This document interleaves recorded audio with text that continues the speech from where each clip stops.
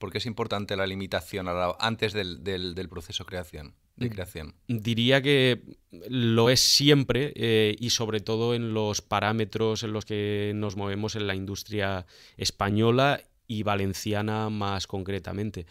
Em, quiero decir, la, nuestra industria, yo creo que es algo consustancial al, al cine o al audiovisual en general. Eh, siempre tenemos que lidiar con el número de días de rodaje. Si tenemos eh, cuatro días de rodaje, intentamos apretar para hacerlo en tres y así ahorrar o reservar una parte del presupuesto.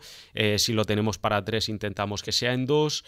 Mm, pero actualmente y más en los cortos eh, que dependen en gran medida de si no de la autofinanciación de la financiación a través de las instituciones las ayudas públicas etcétera em, aportaciones de organismos em, bueno, públicos o semipúblicos, también de bueno, otro tipo de instituciones, de organizaciones, pero vamos, dependemos de, eh, normalmente, no del capital privado en la medida que realmente es una inversión que no se recupera.